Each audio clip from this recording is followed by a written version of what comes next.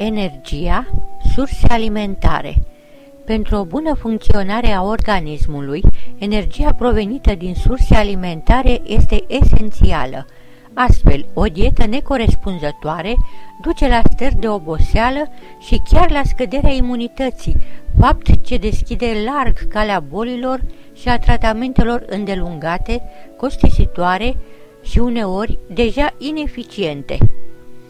Carbohidrații sunt principala sursă de energie. Ei sunt de două feluri. Carbohidrații complexi, care energizează pe termen lung, de exemplu, fasolea, cerealele integrale, legumele, recomandați în proporție de 65% zilnic pentru o dietă sănătoasă.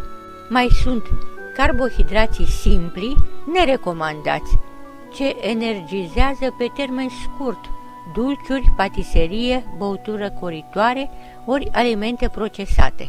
Proteinele construiesc organismul și dezvoltă țesuturi, fiind esențiale pentru vitalitate.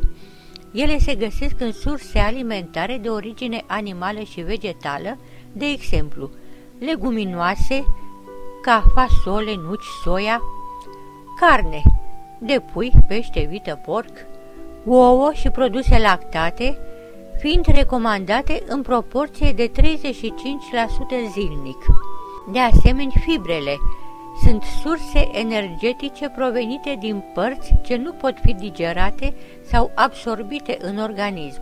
Există două tipuri de fibre, insolubile, care se găsesc în cereale integrale, ovăz, praz, mei, hamei și legume, și solubile în fulgi de ovăz, fasolea uscată, fructe, de exemplu mere și portocale, etc.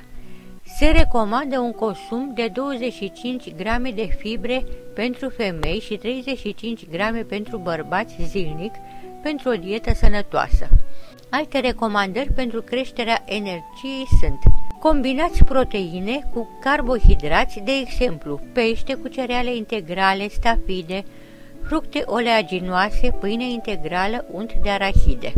Mai puteți crește aportul de fier prin consum de ficat, fasole, pâine integrală, spanac și urzici, consumate împreună cu alimente bogate în vitamina C pentru o bună absorpție a fierului, de exemplu portocale, lămâi, arde gras, pătrunjel, brocoli, conopidă, căpșuni. Evitați băuturile carbogazoase care energizează pe moment, dar duc la oboseală pe termen lung, acestea putând fi înlocuite cu un pahar cu apă și două-trei felii de lămâie, un tonic natural ce revigorează eficient.